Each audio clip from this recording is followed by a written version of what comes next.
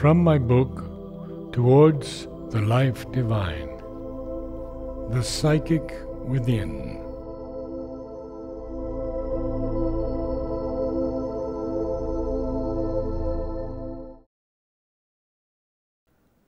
Soon I will return to the birthplace of my soul, not my eternal soul, which is everywhere, and never having been born, sleeps not nor dies, but the psychic being within, the silent witness self, growing through centuries with each new form and face.